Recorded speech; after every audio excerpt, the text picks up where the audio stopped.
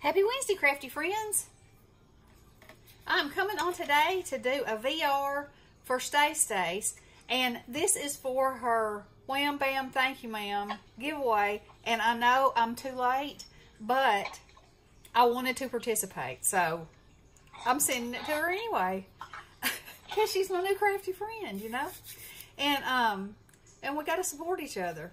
So, in her about page, she said she loves chicken and turkey. And I think she probably meant eating chicken and turkey and not actual chickens and turkeys. But, you know, I had this little chick set that I had done, so I thought that would be perfect to send her.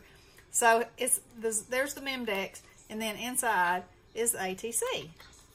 So, look at his little fanny. Make me a So, anyway, um, I will link her channel in the description box and y'all go over and check her out. She's an amazing crafter and she's so sweet. And um and I think you'll love her.